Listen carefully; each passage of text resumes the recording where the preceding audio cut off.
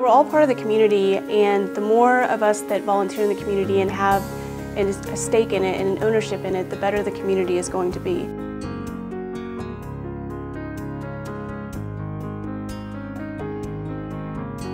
The one thing that really aligned with Rotary in the city is that you know, volunteering and being part of a community does, has no boundaries. It does not reach religion, it does not reach race, it does not reach age, but anybody can be a part of the initiative. And the more people that are out there doing good, the better everything's going to be.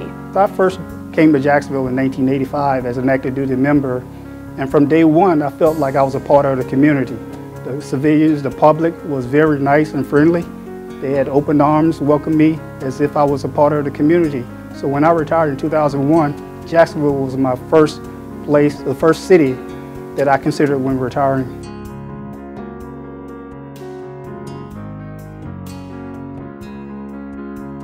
I think veterans are very important to our community. For one, it reminds of the sacrifices made. It reminds us that the freedom, while we have the freedom, so it's important when we see veterans in the community that it is a reminder of those uh, freedoms that we have.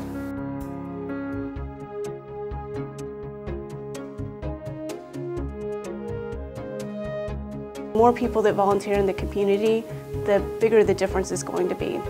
And I think that when we have the opportunity to work out loud and really show what working in the community does, it allows us all in all of our efforts to enjoy everything that's around us more and also be a good citizen to those that are sharing this place with us. I think Jacksonville is a great community. It's why I chose it. I'm proud to be here. It's a place, great place to raise your family, and uh, I love this community.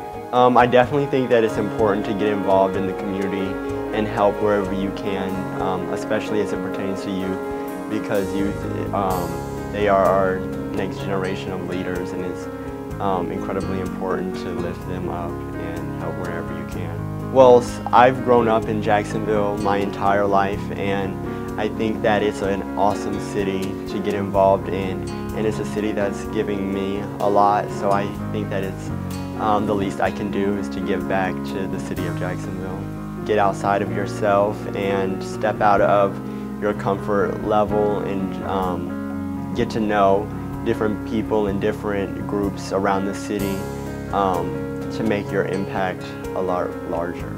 Getting involved in your community is incredibly important and it can really take you a long way and it um, not only helps you but it helps the people that you uh, reach in the community. Community. Community. Community. Community.